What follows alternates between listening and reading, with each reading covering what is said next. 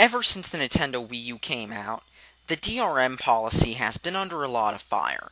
After all, it is just like the Nintendo 3DS's DRM policy in that every game you purchase is linked to your system. And even though the console has an ID system, the IDs are linked to your console, making it pretty much useless, unless you're logging into the online site to view Miiverse.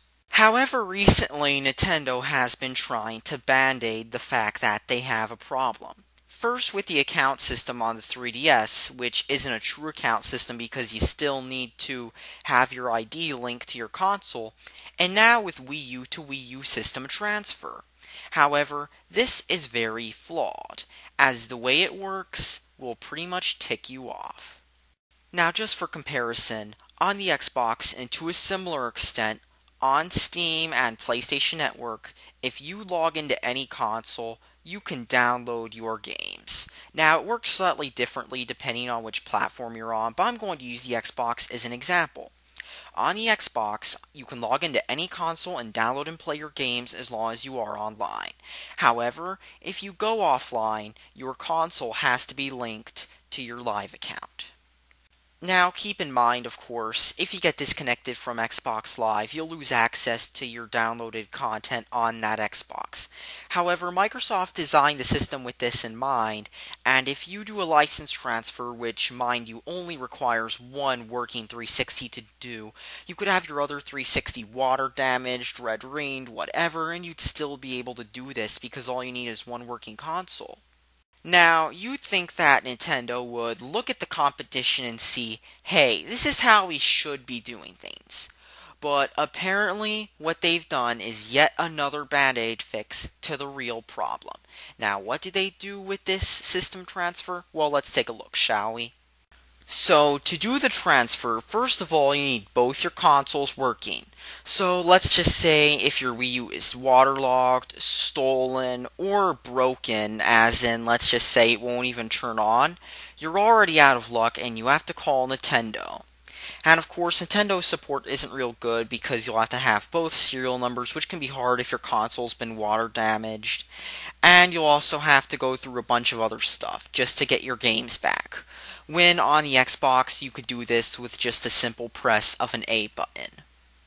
And as part of the process, all content from a Wii U must be transferred. You cannot just transfer a single user or ID through this process. So if you wanted to buy a game console for, let's just say, your little brother and give him that Wii U and keep your Wii U and take all his content and put it on that Wii U, too bad you have to transfer all the content. And all the content on the target Wii U will be lost when the console is formatted. Now, this isn't too much of a problem if you're trying to, let's just say, get a new console because the disk drive of your old one failed. But if, let's just say, you're trying to copy all, like, let's just say one ID, you can't do that. See the first thing. The source Wii U will be formatted once the transfer is complete, so if you wanted to keep some content on your old Wii U, too bad. Nintendo Network IDs that previously existed on the target can be relinked after transfer, but if they are, Content purchased by them on the target Wii U will become available for download, and the save IDs that previously existed will be deleted. I mean, save data, so you'll lose all your save files, and any USB storage devices will have to be formatted again. And there's also a limit of 12 IDs that can be linked to a single Wii U at once. And Wii menu is Wii menu digital content is transferred, but it's not deleted from the target. The only good part is that the Wii menu content from both will be combined.